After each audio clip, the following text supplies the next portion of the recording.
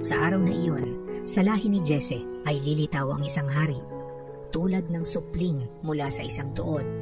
Mananahan sa kanya ang espiritu ng tuon, bibigyan siya ng katalinuhan at pagkaunawa, ng kaalaman at kapangyarihan, ng karunungan at takot sa Panginoon.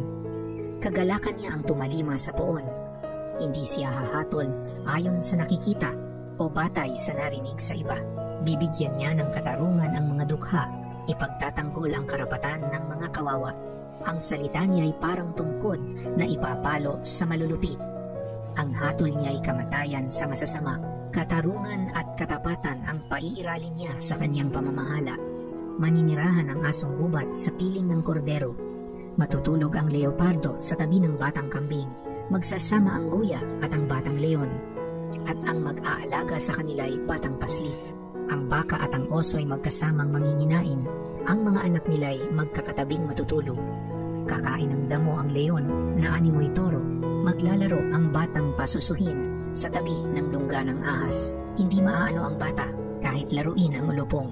Walang mananakit o mamiminsala sa nasasaklaw ng banal na bundok sapagkat kung paanong puno ng tubig ang karagatan.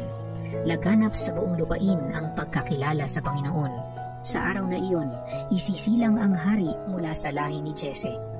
Ang magiging palatandaan para sa mga bansa, ang mga bayay tutungo sa banal na lungsod upang parangalan siya at magiging maningning ang kaniyang luklukan. Ang salita ng Diyos. Salamat sa Diyos. Mabubuhay siyang marangal at sasagana kailanman.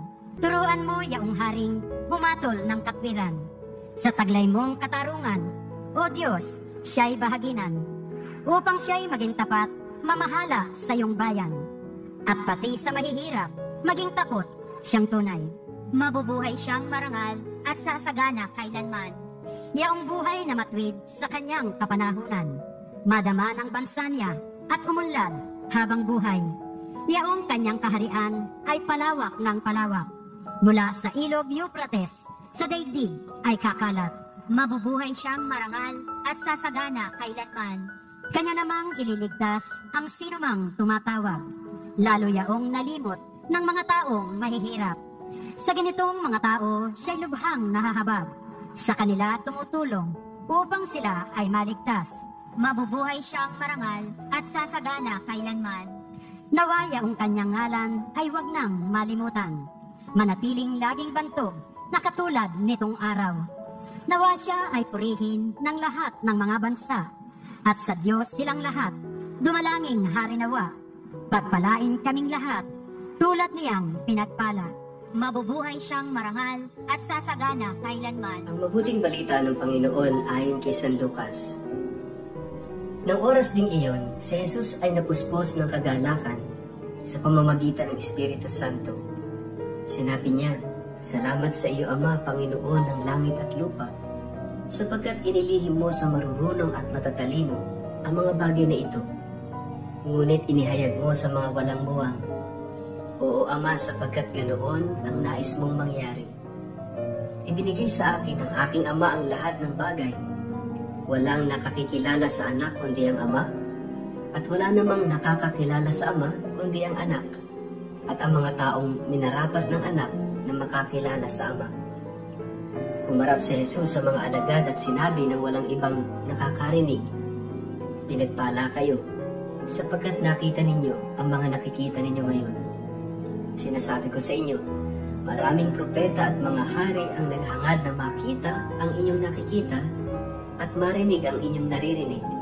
Subalit hindi nila ito nakita ni narinig. Mga kapatid, ang mabuting balita ng Panginoon. Ang pagbasa natin ngayon ay napakayaman ng mga larawan na inaasahan ng mga Hudyo at ang mga inaasahan din natin. Noong panahon ni Propeta Isaías, ang mga hari ng Israel ay malayong malayo sa standard ni Haring David. Sa totoo lang, nabubulok na ang kaharian. Nawawala na ang katarungan. Madalas ang conflict at away pinagsasamantalahan ang mga mahirap at ang mga walang kalaban-laban.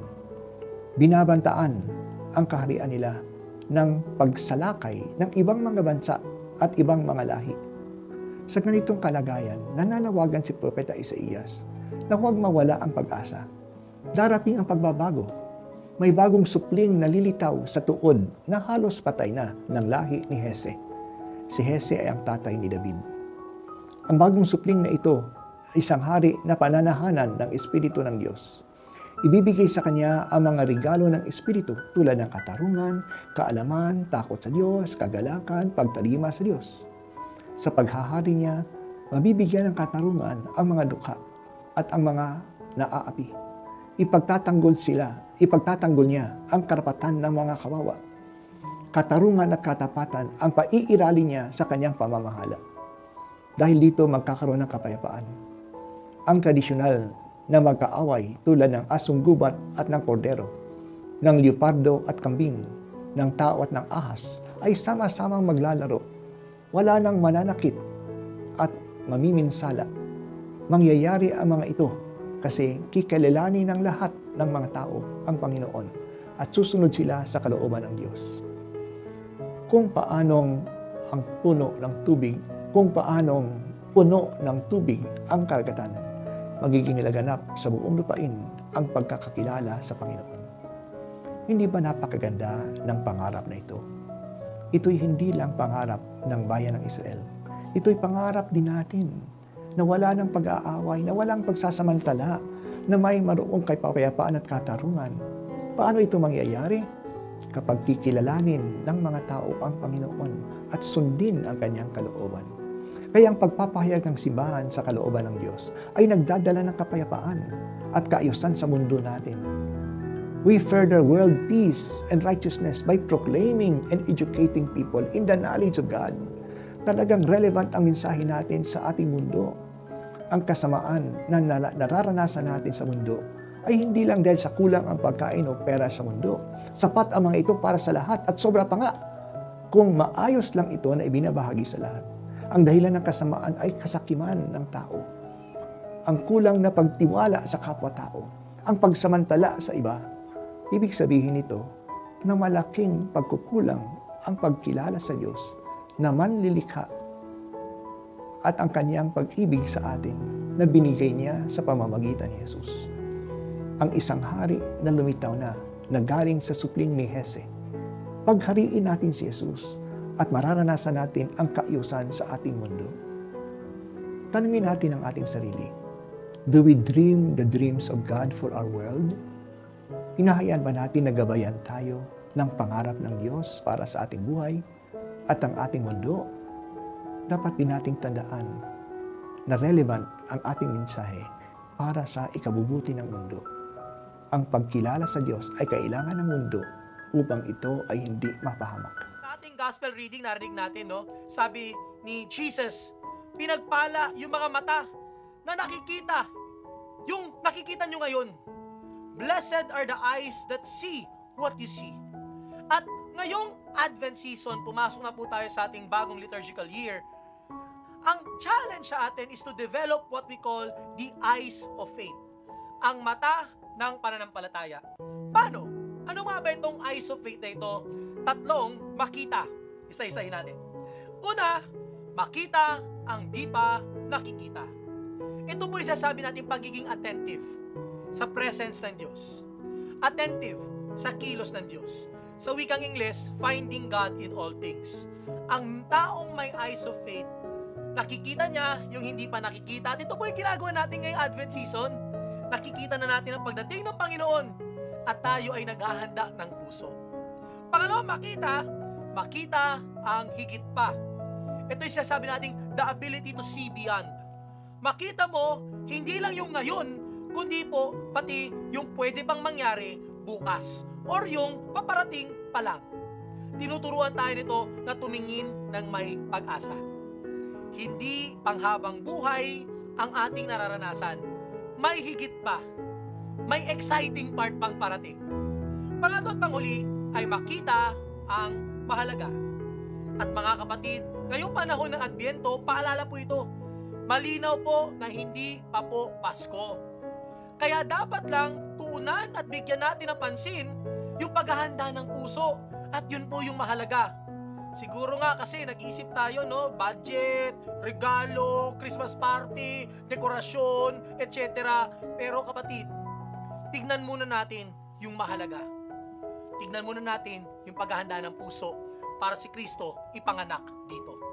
Developing the eyes of faith, yan ang dapat nating pagtunan ng panahon at pansin ngayong Advent season. Makita ang di pa nakikita, makita ang higit pa, at makita ang mahalaga. Yan ang dapat bigyan ng pansin. Hindi pa po Pasko ha, pero dapat ito ang paghandaan natin para sa ating puso sa Pasko ipanganak si Kristo. Mapagpalang araw po sa inyong lahat. Kumusta po kayo? Ang ating pong word of the day ay Spirit-filled. Mga kapatid, magandang makita at tingnan natin sa ating sarili, sa ating puso, sa ating buhay. Ano ba yung pumupuno sa atin? Because what fills you is what comes out of you. Ito yung lalabas sa atin, kung anong pumupuspos sa atin. And always remember, if your heart is not filled with God, it will be filled with something else or with someone else. Kaya nga kahit anong bait minsan ng asawa mo, anong ganda o anong gwapo, anong asikaso sa'yo, kapag ang puso mo hindi puno ng Diyos, maghahanap yan ng iba. Kapag ang puso ng tao ay hindi puno ng Diyos, maghahanap ng saya, maghahanap ng ikapupuno niyan sa ibang tao, sa ibang bagay at ambisyon. And that is why kapag tayo ay masyadong materyoso, masyadong ambisyoso, ambisyosa, at hindi natin hinahanap sa Diyos yung kasiyahan at kagalakan, it means God is not there. Kaya napakahalaga mga kapatid to see kumusta yung ating puso. Ano o sino ang pumupuno dito. At dito sa ating gospel, narinig po natin where the joy of Jesus was coming from. At yon ay nanggagaling sa Espiritu Santo na pumupuspos kay Jesus. Ang Espiritu ng pag-ibig, ang malalim na pagmamahal ni Jesus sa kanyang mga alagad, sa kanyang mga kaibigan, na tumutupad sa kanilang misyon, na nakikinig sa kanyang salita. Kaya napakahalaga, if Jesus, no, filled with the Holy Spirit, ay nagkaroon ng joy and delight towards His disciples. Ganon din po tayo. If we are filled with the Holy Spirit, tayo rin ay mapupuspos ng pag-ibig sa Diyos at sa ating kapwa. And it will give us genuine joy, true delight sa ating buhay. Kaya nga mga kapatid, napakahalaga po Dahilingin natin yung presensya ng Diyos sa buhay natin. Tulad ng sinasabi rin sa gospel, towards the latter part of the gospel, sinasabi doon na mapalad ang mga alagad ni Jesus. Ito yung sinasabi niya sa kanila, mapalad kayo kasi nakita nyo at narinig ninyo yung mga gustong makita at marinig ng mga propeta at mga hari noong una. And that is about Jesus. Mga kapatid, to see Jesus and to hear the words of Jesus means the presence of Jesus in our life. Mga kapatid, napakahalaga ng presence na yun. And that presence will only be possible through the power of the Holy Spirit. Kaya nga, hilingin natin sa Espiritu Santo na panatilihin niya yung presensya ng Diyos sa ating puso at sa ating buhay upang tayo palagi mapuspos ng galak, ng kasiyahan. Or else, wala tayong makikitang galak at saya sa kabila ng dami ng pera, sa kabila ng mga pangarap na narating, sa kabila ng mga meron tayo o wala tayo. Mga kapatid, if we have God in our life, we can always find the reason for joy and for delight. At yan ay ang presensya ng Diyos. Kapag tayo puspos ng Espiritu Santo, tayo mapupuno ng kanyang galak at pag-ibig. Kaya ito yung grasya, ito yung biyayang hilingin natin sa araw na ito. Sa ngalan ng Ama at ng Anak at ng Espiritu Santo. Amen. Come Holy Spirit, fill our hearts with joy and delight with your presence. Amen. Pagpalain po kayo at ingatan ng makapangyarihan Diyos, Ama at Anak at Espiritu Santo. Amen.